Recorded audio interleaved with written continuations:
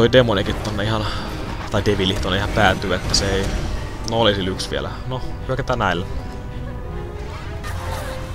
Tiukka tästä tuli, mutta kyllä tästä voit vieläkin saada. Hyvä niin. Mennään syökkäämään noihin, saadaan samalla hyökättyä molempiin. Ja toisen kerran saman tien. Noin.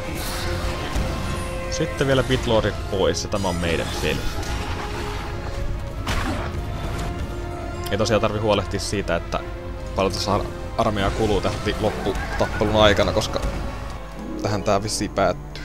Odotetaan basic lakki, koska mietykään onnikyvyistä.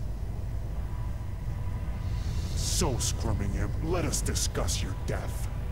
Tell me why you were here, and it will be fast. Otherwise, I shall turn you over to Liara.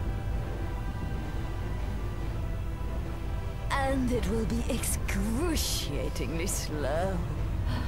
Please, Erazial, refuse to talk. No! I... I was told to get two things. One is the artifact that Nikolai used in the battle, the heart of the Griffin. The other is your head. My head? Why? The Demon Sovereign knows I am loyal. You lie. You have betrayed him and he knows. Karmeleth will protect me. He will... Yeah. What will I do? Go on, please. Siinä Tell on me. pääpahis Give koko me peli. orders. Sovereign. I love that. Master!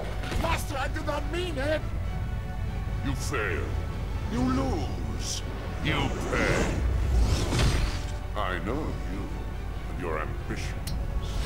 You are strong, but I am patient. You're next.